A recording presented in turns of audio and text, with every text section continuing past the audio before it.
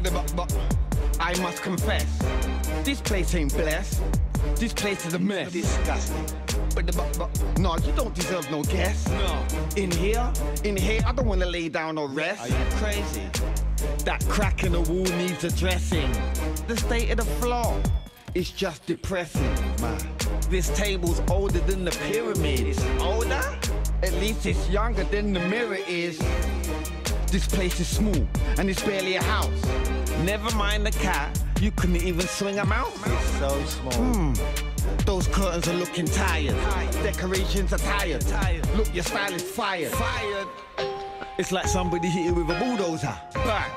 If your house was a car, it would get pulled over. Excuse me, please. This is very, very, very, very, very, very, very unacceptable.